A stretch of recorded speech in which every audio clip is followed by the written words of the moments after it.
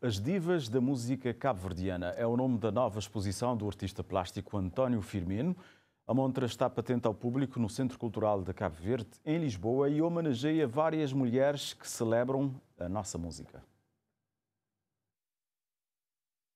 António Firmino traz uma nova coletânea ao público desta feita, prestando um tributo às mulheres que, com a sua voz, elevaram a música cabo-verdiana.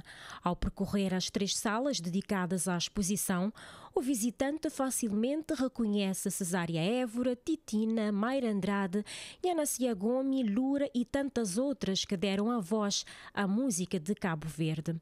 O artista não se esqueceu, no entanto, de figuras como Ana Procópio, Maria Barba, referências perdidas no tempo que agora ganham vida nas telas.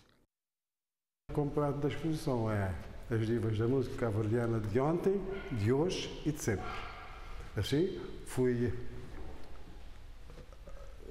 fiz uma espécie de investigação e assim trouxe à memória de todos a figura da Ana Procópio, uma cantora dos anos 80 do século XIX, mais ou menos contemporânea de Eugênio Tavares.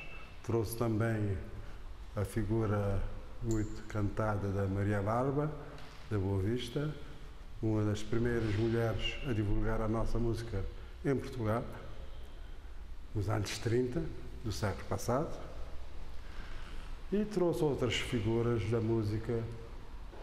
O projeto, que inicialmente contava com apenas 20 quadros, terminou com 35. António Firmino foi mais além. Durante a sua pesquisa, encontrou também artistas internacionais que cantam os vários ritmos do arquipélago. Há uma há uma parte da exposição de, dedicada às mulheres não cabo-verdianas que de, desde sempre divulgaram a nossa música, especialmente a Mólia Coladeira. Assim, há telas onde aparece uma japonesa que canta mornas e coladeiras, ou uma cubana, ou uma senegalesa, ou uma americana ou indiana.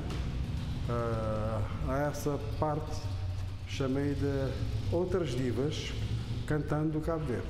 A exposição Divas da Música Cabo-Verdiana ficará até finais de abril aberta ao público no Centro Cultural em São Bento. O artista espera ter apoio para levar esta exposição a Cabo Verde.